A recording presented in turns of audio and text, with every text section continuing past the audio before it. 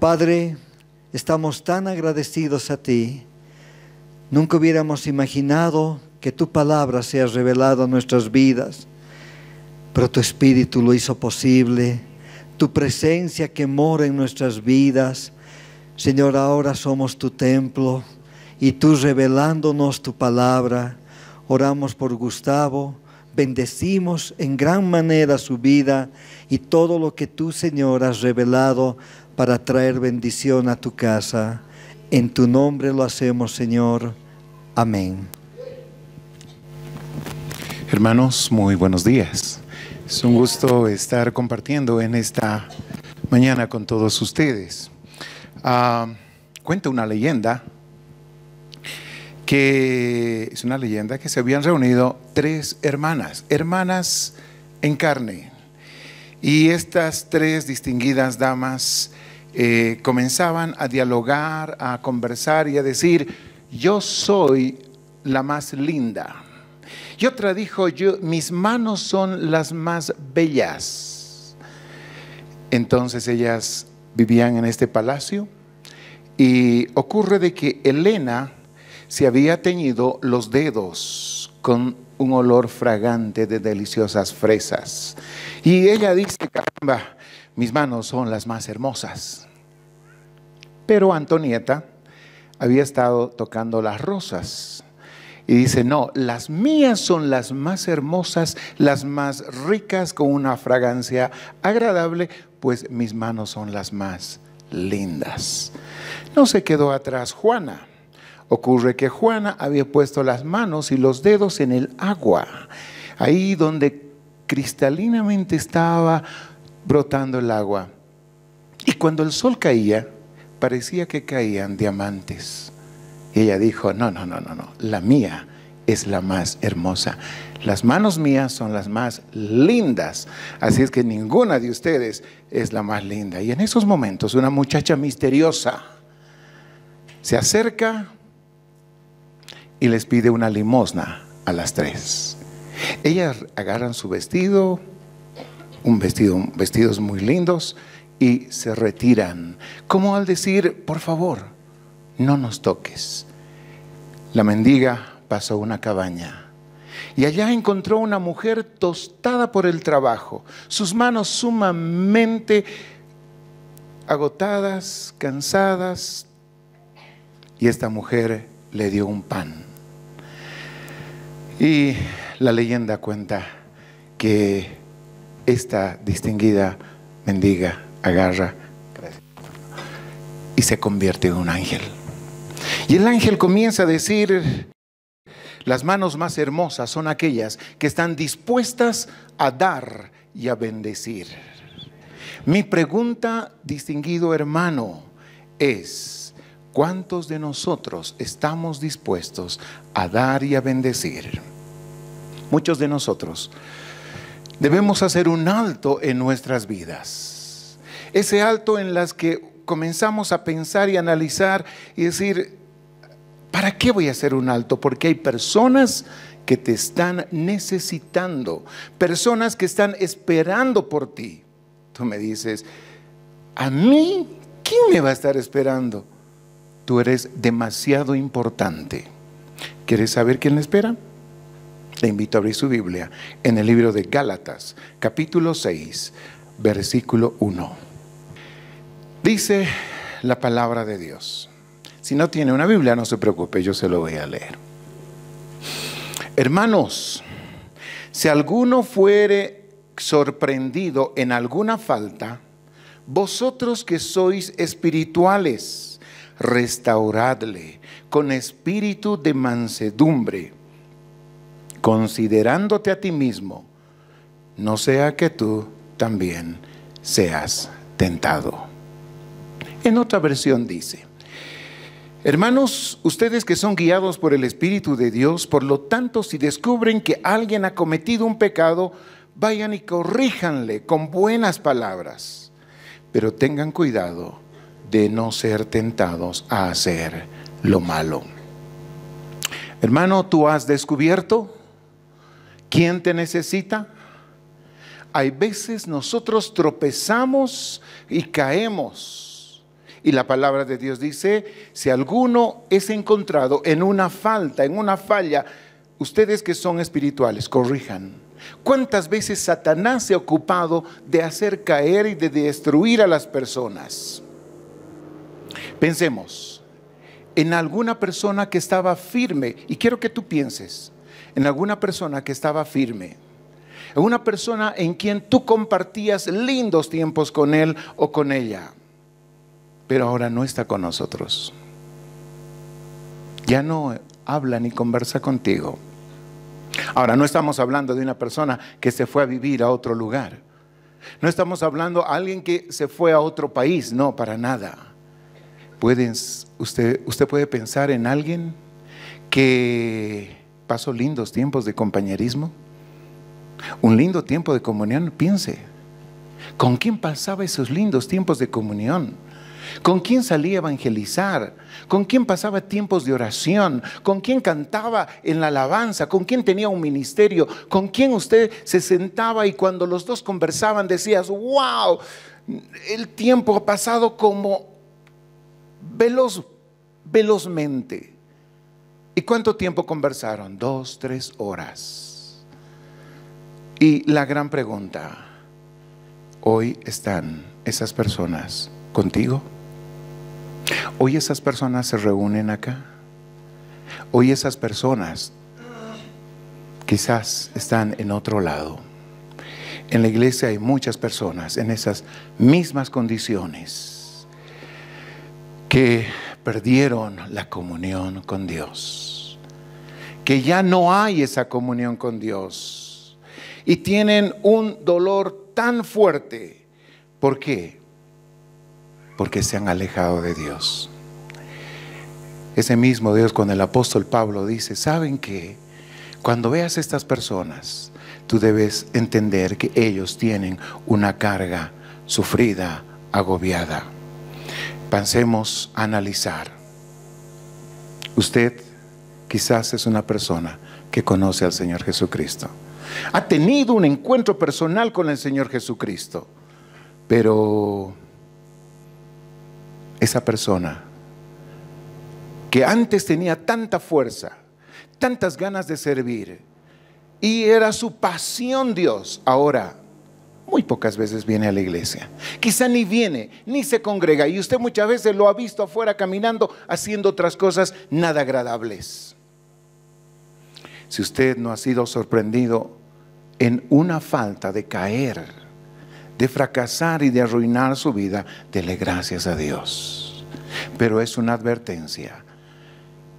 Usted necesita servirle a Dios. Entonces, surge una pregunta. ¿Esas personas pueden ser restauradas? Esas personas pueden ser restauradas. Si se ha alejado de Dios, dice que Dios es un Dios de segundas oportunidades. Dios es un Dios de segundas oportunidades. ¿Sabe que Satanás se ha ocupado de destruir muchas vidas? Y quiero que usted analice, distinguido hermano o persona que nos visita. Satanás no está apurado en querer destruir tu vida. Él puede esperar 5, 10, 15, 20, 30 años. Y cuando menos lo esperes, vas a caer. Cuando menos lo esperes, puedes fracasar. Por eso Pablo dice que cada uno de nosotros tengamos cuidado, tengamos mucho cuidado. Es como algunos dicen, no escupas arriba, te va a caer, te va a caer. A veces es fácil juzgar, condenar.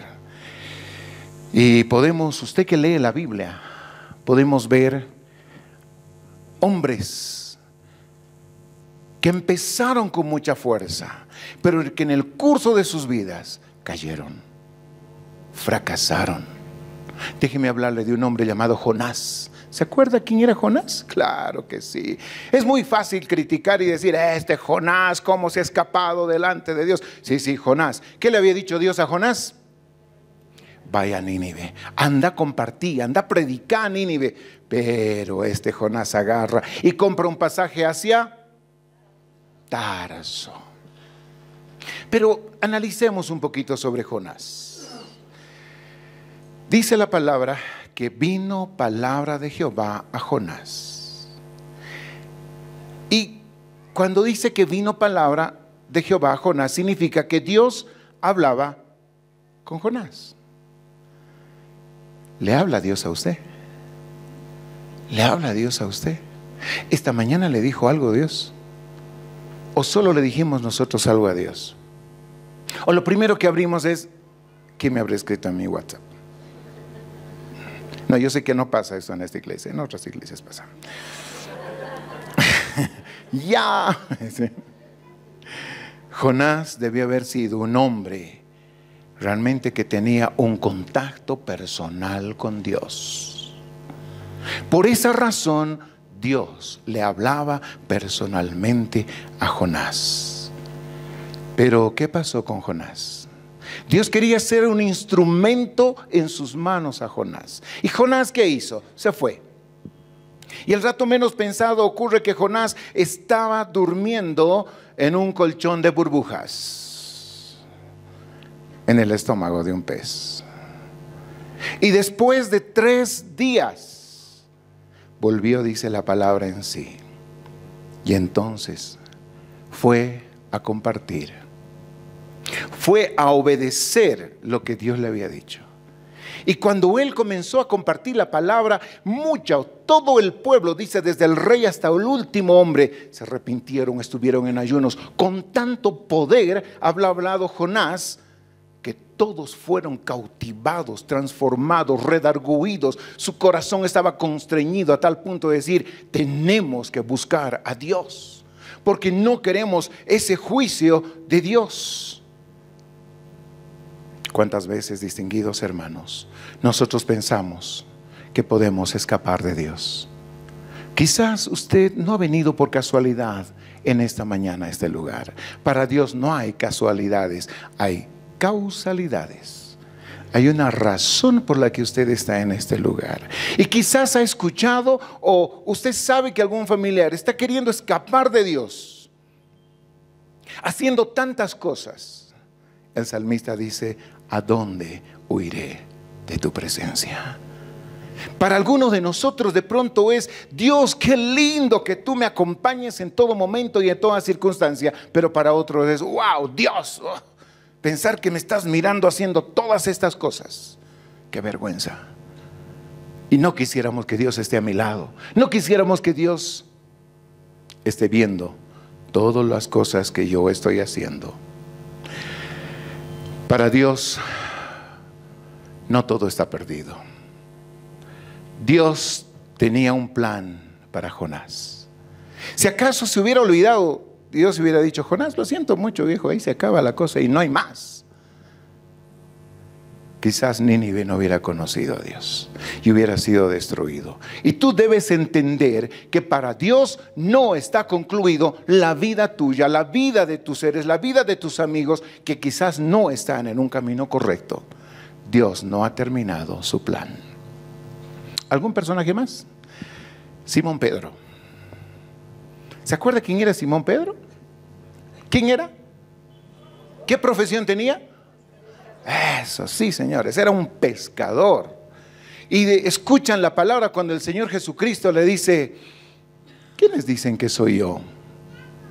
Y Pedro, con esas ganas, con ese entusiasmo, dice que su boca hablaba más que su cerebro. Y entonces Pedro comenzó a decir, tú eres el Hijo de Dios. Tú eres el Hijo de Dios. El Cristo, el Hijo del Dios viviente. Sin embargo, aquel hombre, Pedro, tiempo después, agarra y dice, juro que no lo conozco a ese que está ahí. No, yo te he visto con él, tú estabas con él, comías con él, camin, no, palabrita, sí, lo prometo, lo juro, y aún con maldición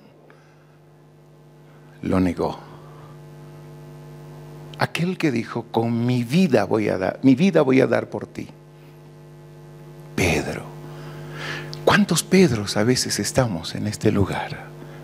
que por un momento ahí estamos arriba, pero de pronto estamos abajo. Y este Pedro, ahí con las palabras en su boca, escuchó cantar el gallo. Y miró el Señor Jesús a Pedro. No le dijo, lo siento, me negaste, ya tengo otra persona para mí. No, para nada, para nada. Escucharon, escucho algunos comentarios, por ejemplo, de algunos críticos, me imagino, que decían, ¿escucharon lo que el reverendo Simón Pedro ha dicho? Uh, delante de una niña y una mujer ha, jurado que no lo conoce y con maldición ya está fregado, su testimonio está por los suelos. ¿Cómo pues él va a hacer esas cosas? Por favor. Distinguidos hermanos, me alegra que ese no era el fin de Simón Pedro.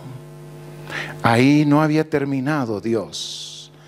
Dios no había terminado su obra. Pedro tropezó, Pedro cayó, Pedro destruyó su testimonio. Pero sabes ese Pedro, que era una piedra, se convirtió en una arena. Usted sabe por qué de pronto cuando viene y dice, no está su cuerpo del Señor Jesucristo. No hay. ¿Y Pedro qué dice? Pedro qué hace? Comenzó a correr. ¿Usted sabe por qué? Porque quería ver el cuerpo. ¿Qué había pasado antes? Lo había negado. Quería saber si su Salvador había resucitado. Y fue corriendo. ¿Saben? Dios le hizo una roca y lo convirtió en el fogoso apóstol predicador de Pentecostés. Aquel que había caído Aquel que había negado, aquel que había jurado con palabras que no lo conocía, estaba predicando con mucho poder, donde más de tres mil personas se convirtieron, donde descendía el poder del Espíritu Santo. ¿Dudas que Dios puede obrar en tu vida, distinguido hermano o amigo? ¿Piensas que Dios no puede hacer ese cambio en ti? ¿Crees que Dios no puede seguir utilizando o utilizarte como un instrumento en sus manos? Tú dices, ah, yo creo que sí. Pero vamos a esperar el tiempo. ¿Tiempo de qué? ¿Cuándo? Quizás tú me dices, Gustavo, yo no estoy preparado. Otra persona quizá me dice, yo no lo conozco, pero yo quisiera saber de Dios. Esto es para usted esto es para usted. Y alguna persona quizás ha venido a este lugar como para decir, no tengo nada más, anoche hice tantas cosas que por lo menos algo apaciguará mi espíritu. Dios no ha terminado con tu vida. Tiene un plan para ti. Quiere utilizarte. Quiere que seas ese trofeo delante de las manos de Dios y seas utilizado como un instrumento. Tercer personaje, Marcos. ¿Usted sabe quién es Marcos? Juan Marcos. Ocurre que Juan Marcos fue el nombre de Marcos. Él comenzó un viaje misionero con Pablo y Silas. Ocurre que mientras estaba realizando este viaje misionero, Pablo y Silas llevaron a Juan Marcos. Él, Juan Marcos ha debido ser un muchacho que era de buen testimonio. Por eso Pablo dice, llevémoslo en el, en el viaje misionero para que esté con nosotros, para que nos ayude. Pero ocurre que Juan Marcos se atemorizó. Tuvo miedo, nostalgia de su hogar, hijito de mamá, hijito de papá, y se volvió a su casa y regresó a su casa. Entonces, cuando comenzó a planificar otro viaje misionero, Pablo, alguien dijo, llevémoslo a Marcos. ¿Qué creen que dijo Pablo? No, a él no lo podemos llevar. No, pero ¿por qué? No, no, él es un fracasado. Él es un agarradito de la mamá. Con él no hay confianza. No podemos tener confianza con él. Por favor, ¿para qué vamos a llevar a Marcos? Pero surge otro hombre llamado Bernabé.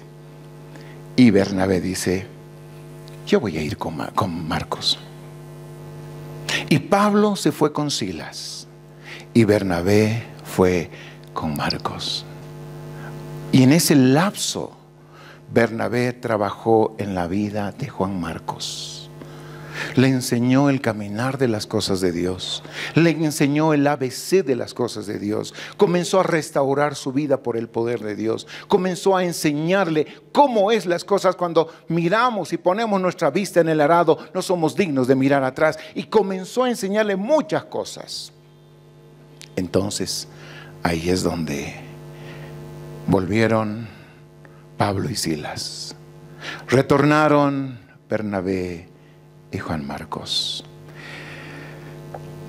Y ocurre de que Juan Marcos, en un momento Pablo dice, tráiganme a Juan Marcos, porque él nos es útil en el trabajo. Aquel que era, que era rechazado ahora es útil. ¿Por qué? Porque hubo un hombre que pasó su tiempo enseñándole. Mi pregunta en esta mañana es, ¿Cuántos Bernabés habemos en este lugar? ¿Cuántos Pablos estamos en este lugar? Con él no. Él no sirve. Él no es útil. ¿Para qué con él? Por favor, busquemos otra persona. No vale la pena. O un Bernabé. No importa, va a ir conmigo y yo le voy a enseñar. Prueba de su fidelidad e integridad es que Juan Marcos escribió la carta de Marcos que usted tiene en su Biblia. Hermanos, debemos analizarnos a nosotros mismos. ¿Cuántos Bernabés estamos? ¿Cuántos Juan Marcos estamos en este lugar huyendo, escapando? David. ¿Quién era David? Un pastor de ovejas el rey. Era un hombre, dice, conforme al corazón de Dios. Era un hombre conforme al corazón de Dios. Este era un hombre poderoso, lleno de Dios, pero saben, llegó un momento en su vida que él se alejó de Dios. David había cometido un pecado malo, horrible, denigrante, algo que quizá nosotros no lo haríamos. Un día hablaremos sobre la vida de David, qué cosas ha cometido. Alguito Gustavo, ok, asesinó. Wow. Alguito más, adulteró. Y después usted puede seguir leyendo qué cosas más hizo David. Usted dirá, pero él es un hombre, es un ser humano. Él es un hombre de hueso y carne, con emociones, con sentimiento. Y la debilidad lo agarró. Y bueno, no, no, no, no, no, no, no. No fue un hombre así simplemente. Era una persona necia. Era una persona que tenía que estar en el lugar correcto y no estaba. Porque antes los reyes salían a la guerra y esta vez David se quedó durmiendo en el palacio real.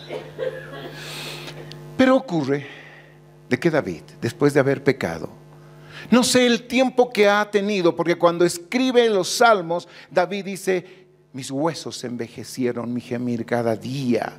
Mi verdor se ha convertido en sequedad de verano. Ya no soy el que digo, gloria a Dios, aleluya. ¿Quién vive? No, no, no, no. Ahora simplemente cuando llego bajo mi cabeza y no quiero que nadie me diga nada. Hasta que vino el profeta, descubrió su pecado y el rey confesó su pecado a Dios.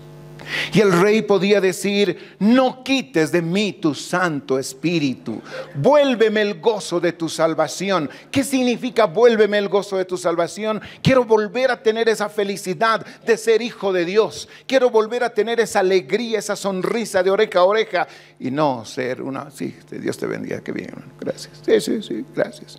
No, no Dice que el corazón alegre hermosea el rostro. El corazón alegre hermosea el rostro. El corazón de David no estaba alegre. Él había pecado, había fracasado, como vemos muchos en este lugar, que hemos pecado, hemos fracasado, hemos caído, nos hemos embarrado, aún siendo cristianos. Aún conociendo al Señor Jesucristo. Pero de pronto clamamos a Dios. Y Dios oye. Si confesamos nuestros pecados, dice, Él es fiel y justo para perdonar nuestros pecados y limpiarnos de toda maldad. Confesárselo a Dios. Y Él vuelve a restaurar nuestra vida. Él vuelve nuevamente a decir, yo creo, yo sé que tú puedes. Pues vio Dios que había esperanza en la vida de David. Dios es un Dios de segundas oportunidades. Dios es un Dios que no nos da una sola, como muchas veces. Esta y se acaba, lo siento mucho, la has arruinado pena, pues arruínate. No, no, no, no, no, no. Dios a usted y a mí nos da una segunda oportunidad. Y quizás estamos en este lugar para encontrar esa segunda oportunidad en Dios. Hemos venido para decirle, Dios, ya no tengo nada más que hacer. Necesito que tú puedas obrar en mi vida. Necesito que tú obres en mi corazón. Pero distinguido hermano, es su responsabilidad. ¿Usted conoce a alguien que ha sido encontrado en una falta? ¿Usted conoce a alguien que ha sido encontrado en pecado? ¿Usted ha visto a personas que con los que cantaba, adoraba, alababa, leía la palabra y que ahora está totalmente metido en el pecado? Estoy seguro que sí. Pero usted y yo debemos obedecer lo que la palabra de Dios dice. Dice, si usted sabe una persona que conoce y que está en esa situación, le dice, restaurale. Restaurale. ¿Qué significa restaurar? ¿Qué significa restauración? Significa unir un hueso que ha sido roto. Restaurar significa unir un hueso que ha sido roto unir correctamente algo que ha sido roto o desgarrado. ¿Alguna vez usted se ha roto un hueso? ¿Ha tenido un accidente? Yo sí. Yo me acuerdo que cuando era niño me había prestado una bicicleta. Vino un señor a la casa a poner una antena al Yenuyuni y vi una linda bicicleta negra. Y le dije, ¿me presta su bicicleta? Él me dijo, sí, pero una hora me lo traes. Perfecto fui manejando la bicicleta. Tenía yo bicicleta, pero yo quería saber cómo era manejar otra bicicleta más grande. Y entonces salí manejando. Hay un lugar que se llama La Pista, allí en Uyuni. Así que ahí puedes correr sin ningún problema. Y comencé a correr y dando la vuelta a la pista, bajé para irme a la casa porque analicé, y es más o menos 40, 45 minutos. Ocurre que mientras estaba bajando, no me había dado cuenta que había una zanja que habían cavado. Y lo primero que hice es apretar los dos frenos, cerrar los ojos y no soltarme del manubrio. Volé, me arrastré en la bicicleta de un lado al otro y hasta que paró la bicicleta. Tenía pena por la bicicleta, no era mi bicicleta. Y entonces decía, ayúdenme por favor, ayúdenme. Tenía ocho, nueve años. Había personas que pasaron por mi lado y al ver la sangre que tenía, no me quisieron ayudar. Hasta que un muchacho, un joven, se acerca y me dice, ¿qué ha pasado? Caí. Y me vio y me dice, te voy a ayudar. Muchas gracias. Levantó la bicicleta porque la bicicleta estaba en mi encima. Me levanté, me levantó, perdón, él, y me dijo, ¿dónde vives? A cuatro cuadras de aquí. Y me dice, ¿de qué familia eres? Yo le dije, mi mamá es doñadora. Ay, la enfermera, yo la conozco, yo le voy a llevar de donde doña Dorita. Y llegó a casa. Mi mamá salió sumamente preocupada, sumamente asustada porque tenía la rótula de mi rodilla izquierda deshecha. Y la sangre, y de pronto vi que había una cosita amarilla de adentro que salía, que no sabía qué era, y todavía seguía cojeando. Saben, distinguidos, que después de la caída yo, no yo sí necesitaba una restauración. La rótula de mi pie derecho necesitaba esa restauración. No necesitaba una reprimenda, no necesitaba que me digan, yo te he dicho, ve, yo te he dicho, ¿por qué no me haces caso? No, no, no, no, no necesitaba eso, solo necesitaba, aunque tuvieran la razón, que alguien me socorriera. Aunque todo era verdad, lo demostraba en mi cara el dolor que tenía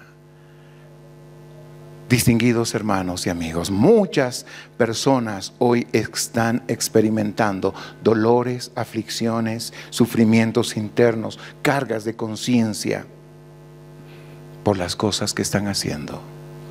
Lo que menos quieren ellos que es una reprimenda. Lo que menos quieren ellos es una reprimenda. Pero también yo no necesitaba que me ignoren. Aunque algunos pasaron y me ignoraron, pero este joven no. Yo no necesitaba que me ignoren en ninguna manera. Gracias a Dios, Él me levantó. ¿Y cuántas veces habemos personas que ignoramos aquellas que necesitan de nuestra ayuda? De pronto me llevaron urgentemente en una movilidad al hospital. Y me acuerdo que yo gritaba y decía, solo lo quiero al doctor Reyes, al doctor Reyes. Nadie va a tocar mi pie, solo el doctor Reyes. Lo hicieron traer de su casa al doctor Reyes en la ambulancia porque no quería que nadie tocara mi, mi rodilla. Mi confianza era tanto en el doctor Reyes. Porque conocía porque mi mamá trabajaba en el hospital. Yo sabía quién era el doctor Reyes. Y de pronto llega y me dice, Gustavo, aquí está el doctor Reyes. Doctor, cúreme. Y me pusieron una máscara. ¿Cuántas veces nosotros tenemos confianza en ciertas personas? Y esas personas nos dicen, otro día hermano, hoy no tengo tiempo. Nos dan la espalda. No quieren hablar con nosotros. Porque tenemos otras cosas en agenda. Porque tenemos quizás algo más importante. Cuando nos olvidamos que esas personas que nos necesitan confían en nosotros. Confían en ti. Confían en mí. Pero nosotros no queremos ir a su ayuda. Por otro lado, cuando tuve el accidente, no necesitaba que mi accidente se haga público. Lo que menos quería es que mi hermano mayor comience a agarrar y a decir, ustedes han visto lo que ha pasado con Gustavo, se ha caído de la bicicleta, su rodilla se ha roto, uh, ahora está en el hospital, qué chacra para manejar una bicicleta. Si yo hubiera manejado, no, no, no. No necesitaba que se haga público. No necesitaba. Muchas veces eso es lo que nosotros a veces hacemos. El pecado de muchas personas lo hacemos público. El dolor y el sufrimiento y la necesidad de otras personas lo hacemos público.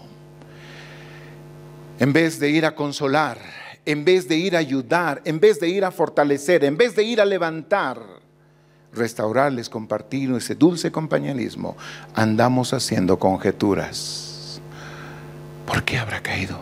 ¿Qué habrá pasado? ¿Cómo él? ¿Cómo ella? No puede ser. ¿Qué ha ocurrido? Ojo, no ocurre aquí. En muchas reuniones de oración. Las reuniones de oración se convierten en sesiones de chismografía. Vamos a orar por Tremebunda. Y preguntamos, ¿qué pasó con Tremebunda? Está embarazada. Ah, qué pena. ¿Y quién será el esposo? No, no tiene esposo. Ah, ¿y cómo se habrá embarazado? Ah, no sé, dice que ha llegado nomás aquí. Y, y será varoncito, será mujerita. Sí, vamos a orar. ¿Algo más específico para que oremos? Para disculpar. No queremos nada más específico, lo único que queremos es Chisme, chisme, chisme. Cuando me caí, me alegré que los que estaban a mi alrededor, mamá, mis hermanos, el doctor Reyes, no me dispararán, no me matarán. Alguien dijo que la iglesia es el único ejército que ejecuta a sus heridos.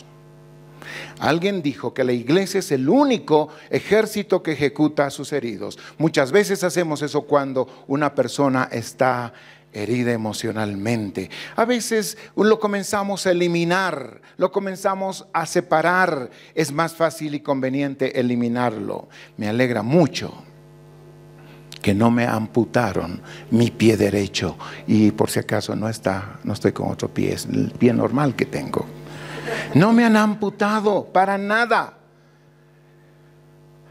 Me arreglaron la rótula, volvieron a su lugar Ahora solo pueden ver mis hijos y mi esposa que ahí hay una cicatriz de hace 40 años que les importa a ustedes saber.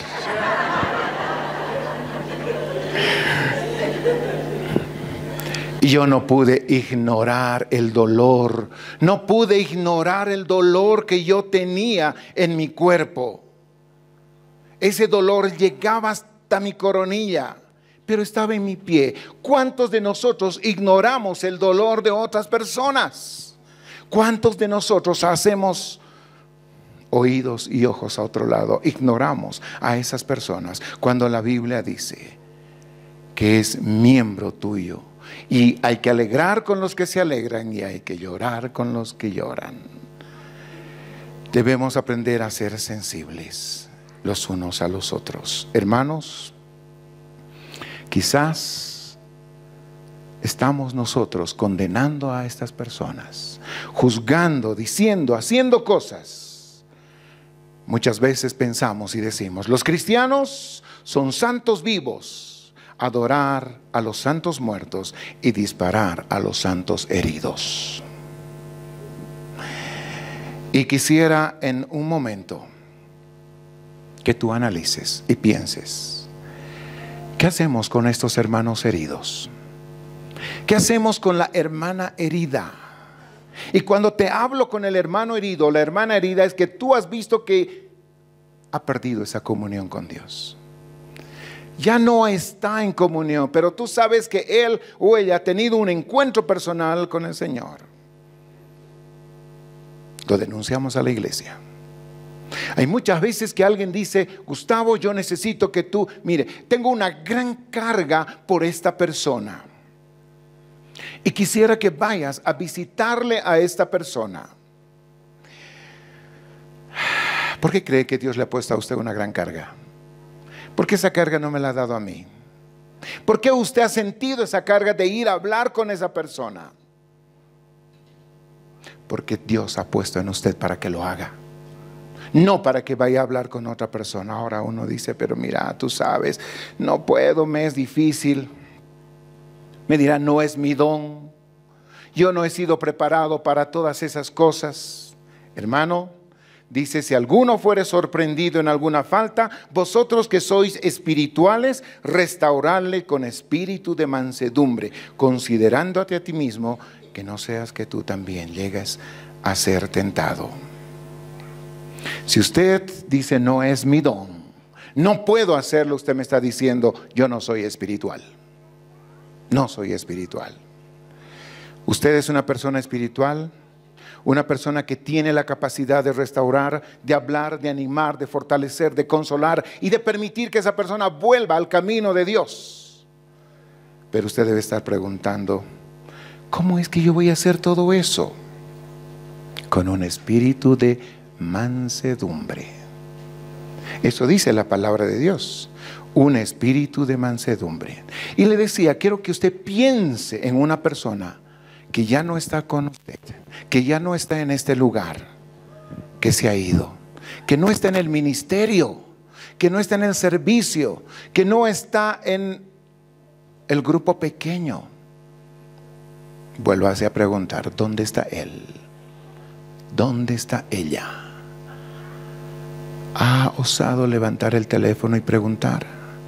Ha ido a la casa para visitarle. No, Gustavo, es que yo no conozco su casa. Somos miembros. un solo cuerpo. Si te duele tu uña, te duele tu uñero del pie. ¿No es cierto? Así nomás es. Todo nos duele. Pero saben, hermanos, este es un desafío. A usted que quizás por primera vez ha venido y dice, yo necesito, yo necesito que mi vida sea restaurada. Yo no conozco a Dios. Enseguida le voy a invitar para que usted tome una decisión. Pero usted, hermano, que me dice, ¿sabe qué, Gustavo? Yo, tiempo que estoy en esto, nunca he fallado a las reuniones. No importa, terremoto, el, el río se levante, yo estoy aquí. Mi pregunta es, ¿cuánto tiempo has pasado restaurando vidas de personas? Dice que los hechos gritan mucho más que nuestras palabras. Los hechos gritan más que nuestras palabras. Thomas Edison, 1879, comenzó a fabricar la bombilla, el foquito que teníamos antes. Y pasó mucho tiempo fabricando. Ya lo habían probado. Ya todo había estado listo. Y entonces a uno de sus jóvenes ayudantes va y le dice, lleva por favor esto al primer piso y entrégale al responsable para que lo guarde y lo almacene. El muchacho fue. Subieron los peldaños. Llegó donde estaba la persona que iba a almacenar. Y ocurre que se le resbaló de las manos ese foco que tardó tiempo y tiempo de ser creado. El muchacho bajó con la cabeza agachada, con la vergüenza en los suelos, sin saber qué decir, sin saber qué hacer. Thomas Edison le dice, ¿qué pasó? Se me cayó de las manos.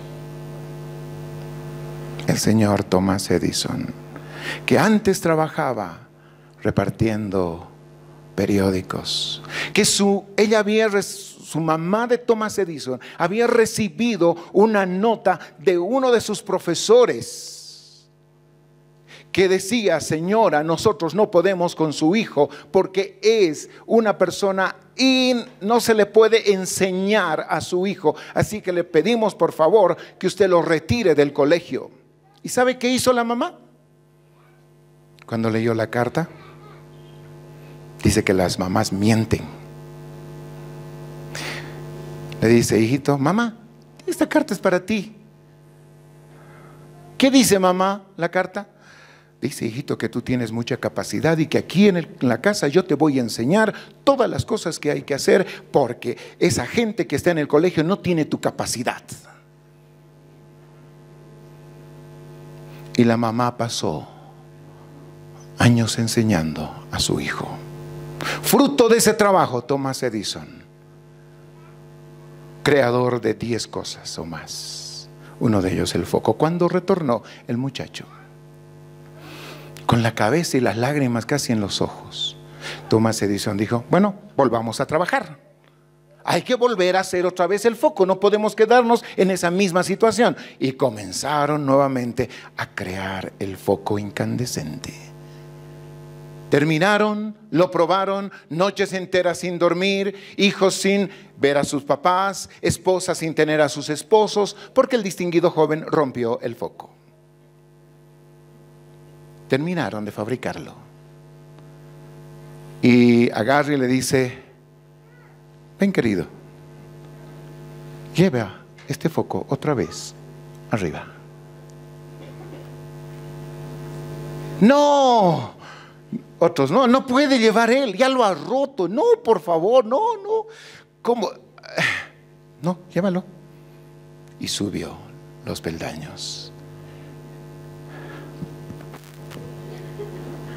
Entregó, dejó el foco, bajó. Y le dijo Tomás Edison, ¿cómo te fue? Bien, entregué el foco. Muchas gracias. Y él le dijo, todos merecemos una segunda oportunidad.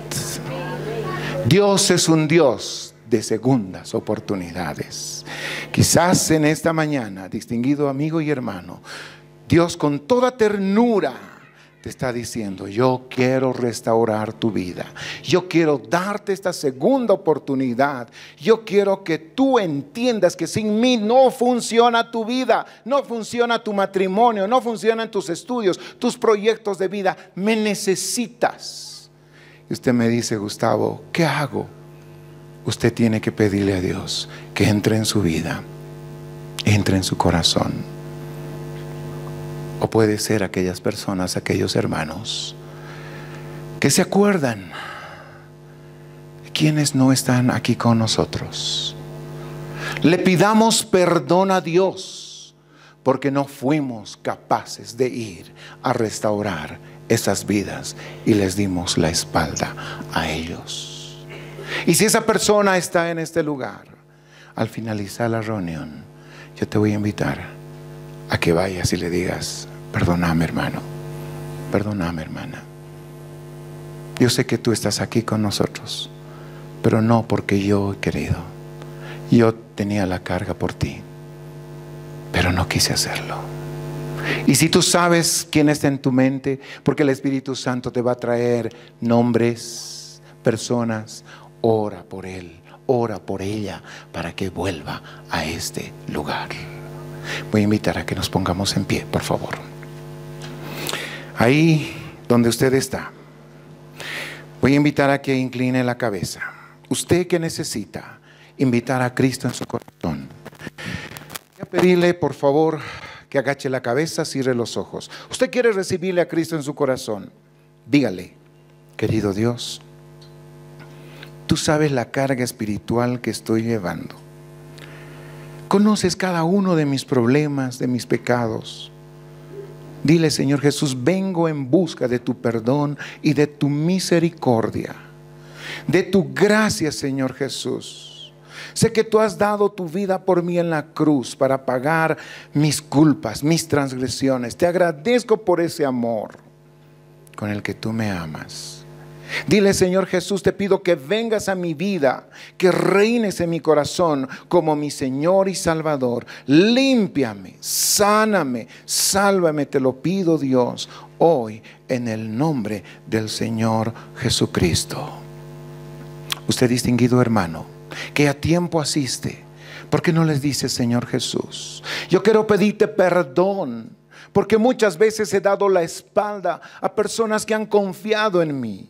Muchas veces no he querido restaurar a hermanos, hermanas, jóvenes, señoritas, papás, mamás, que yo les he visto que estaban mal y no les he querido ayudar. Perdóname, Señor, porque he dejado que tu cuerpo se arruine, se destruya. Ese miembro, Señor. Perdóname, Señor. Yo necesito, por favor, que me des una oportunidad para volver a hablar con él o con ella y mostrarle que tú eres un Dios de segundas oportunidades y que tú no has terminado tu obra en sus vidas. Te lo pido, Dios, en el nombre del Señor Jesucristo. Amén.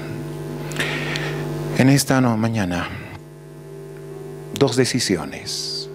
La primera, haber recibido al Señor Jesucristo. Haber permitido que Dios entre en tu corazón y en tu vida. Te pregunto, ¿Habrá alguna persona que en esta mañana hizo esta oración? Si hay una persona que hizo esta oración, solo voy a pedir que levantes la mano y la bajes. Si has hecho esa oración, si no has hecho, no la hagas. No levantes la mano. ¿Habrá alguna persona que Dios lo bendiga? Que el Señor lo bendiga. ¿Alguien más? Que Dios lo bendiga. ¿Alguien más hizo oración esta noche, esta mañana? Que el Señor te bendiga. Alguien más le invitó a Cristo a morar en su corazón y encontrar esa segunda oportunidad. Quiero terminar orando. Que Dios te bendiga. Que Dios te bendiga. ¿Alguien más? Que el Señor la bendiga. Que el Señor le bendiga. Que Dios lo bendiga. Que Dios lo bendiga. ¿Alguien más? Que el Señor lo bendiga. Que el Señor lo bendiga. Alguien más que Dios la bendiga. Que el Señor los bendiga. Que Dios los bendiga. Cambiamos la pregunta. Hermano, ¿habrá una persona, algún hermano en esta mañana que pidió perdón a Dios porque le dimos la espalda al amigo, al hermano, al compañero de milicia. Y que hoy decidimos ir en su busca, llamarle, buscarle, seguirle y decirle hay una segunda oportunidad. Y hoy le pedimos perdón a Dios. ¿Algún hermano hizo eso? Que el Señor los bendiga. Que el Señor los bendiga. Tú me dices, ¿qué me van a decir, Gustavo? ¿Alguien más? Quiero terminar orando. Que el Señor los bendiga. Que el Señor los bendiga. Que el Señor los bendiga. Que el Señor los bendiga. Dios es un Dios de oportunidades. Dos, tres, cuatro. Vamos a terminar orando. Inclinen su cabeza. Señor Jesús.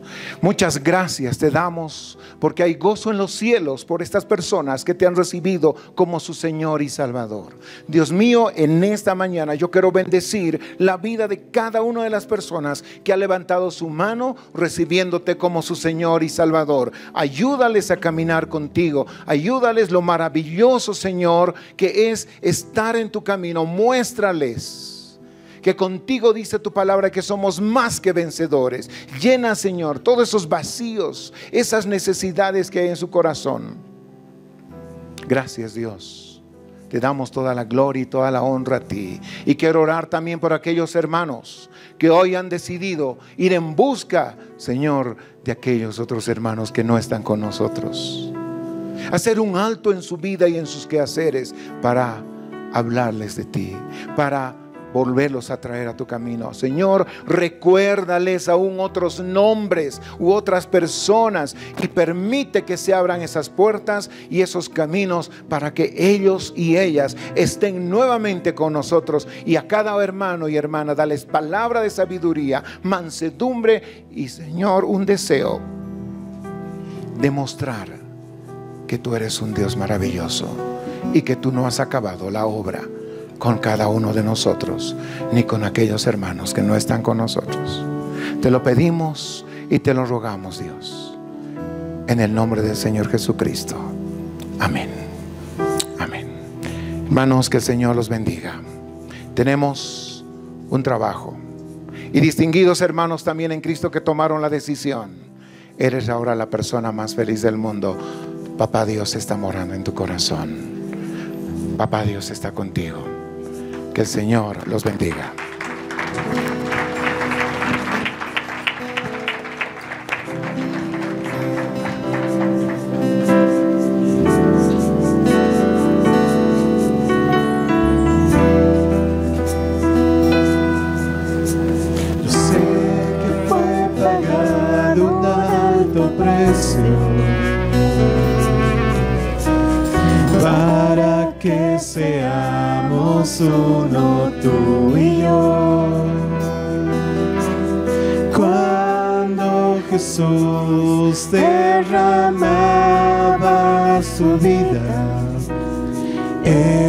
Pensaba en ti. Él pensaba en mí, en nuestra unidad. Puedes mirar a tu hermano que está a tu Yo lado sé que fue pagado un y lo puedes abrazar. precio Señor se ha partido para que seamos uno. para que seamos uno tú y yo.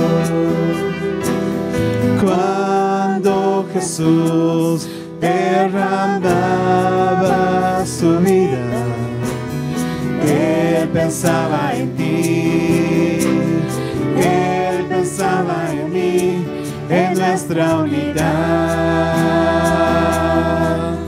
Nos veía redimidos por su sangre, combatiendo la batalla de la fe. Codo trabajando, su iglesia edificando y rompiendo las barreras por amor.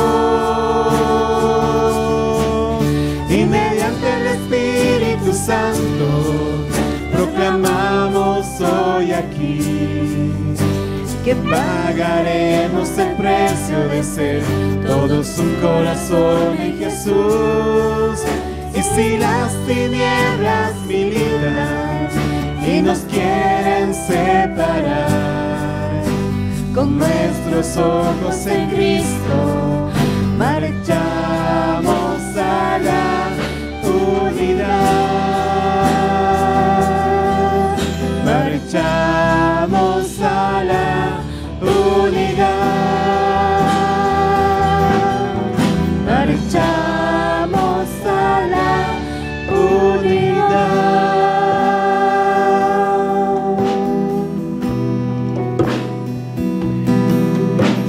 Sé que fue pagado un alto precio para que seamos uno tú y yo. Cuando Jesús derramaba su vida, Él pensaba en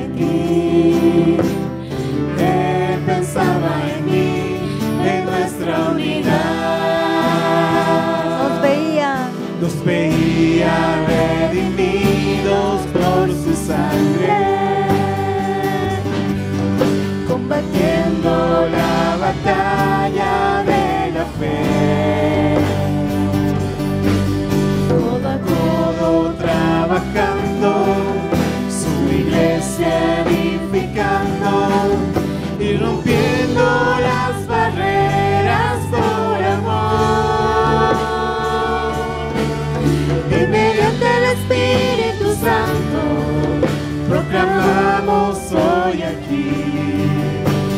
pagaremos el precio de ser todos un corazón en Jesús.